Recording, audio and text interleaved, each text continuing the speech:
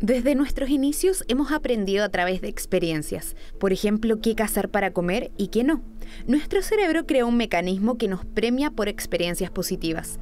Se trata del sistema de recompensa. Todo el circuito de recompensa ha sido eh, fundamental en la evolución de los mamíferos porque nos ayuda a aprender del ambiente. Las cosas que activan del ambiente, el, circuito de recompensa, son las que a nosotros nos gusta, ¿sí? Entonces, y a nosotros no, nos gusta porque evolutivamente está, está eh, diseñado que son vitales para nuestra existencia. Por ejemplo, alimentos, alimentos ricos en ciertas sustancias como la sal, la grasa, qué sé yo, el chocolate, nos gusta harto. Entonces, todas esas cosas que nos sirven para sobrevivir en, el ambiente, este circuito está cableados de cierta forma que nos hacen ser sensibles a eso, que nos sirve para aprender del ambiente. Pero hemos evolucionado, nuestro sistema de vida se ha complejizado. Ahora hay abundancia. Para la mayoría las necesidades básicas están cubiertas.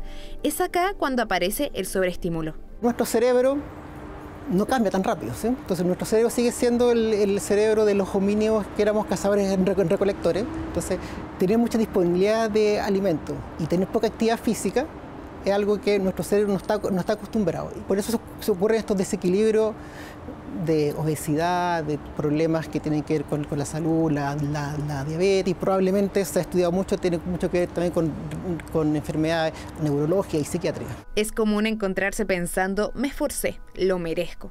¿Y tú, cómo te premias a ti mismo? Cuando he tenido un día agotador, lo que hago casi siempre en verdad es como llegar a la casa, pedirme mi comida favorita que es el sushi, eh, ver una serie y regalonear con mi gatito. Eh, ¿Haber algún tipo de recompensa que puedo darme normalmente después de alguna sesión de estudio? Sería revisar el feedback de, del Instagram. Tengo varios, varios, eh, varias categorías de compensaciones. Cuando salgo de la oficina, eh, una rica ducha, una tiene ahí con, con estas sales y refrescarme y todo eso, sobre todo en este tiempo de calor o comer algo rico. A veces este sistema entre esfuerzo y recompensa puede pasarnos la cuenta, volviéndonos adictos al placer inmediato. Los sistemas de recompensa históricamente están hechos para ser brevemente activados. Lo que busca es activarse ya.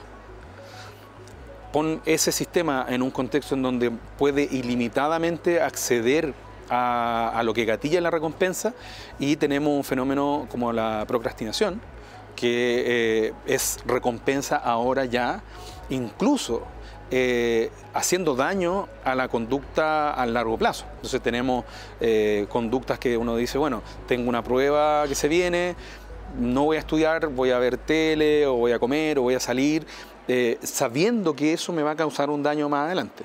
Por eso, para volver a un equilibrio es necesario practicar la disciplina. Ya metas que sean breves, cortas, alcanzables, que estén acá a la mano.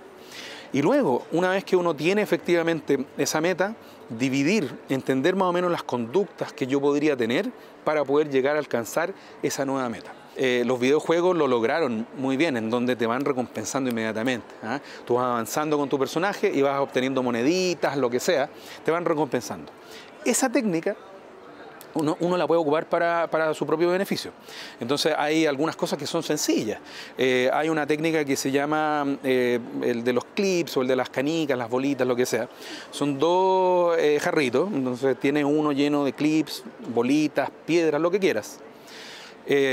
y cada vez que logras avanzar un poquito, transfieres una desde el, jarrito que está lleno al jarrito que está vacío. Y eso es muy importante para poder eh, hacerlo, el, salirte de esta inercia eh, de, la recompensa inmediata. Poder hacer que este otro camino, que es más duro, más fuerte, que te recompenses. Lo importante es poder romper este circuito de recompensa inmediata, ya sea con pequeños pasos o pidiendo ayuda.